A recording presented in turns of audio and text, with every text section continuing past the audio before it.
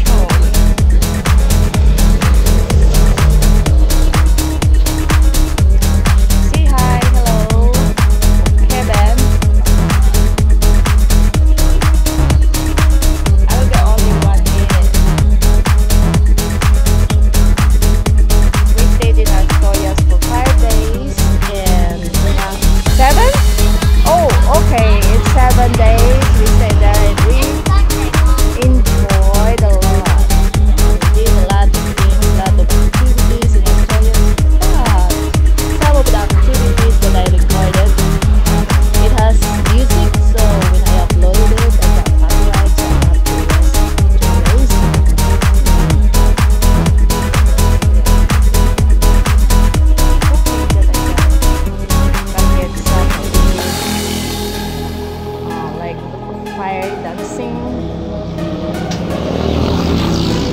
That's the one that I erased it because someone greedy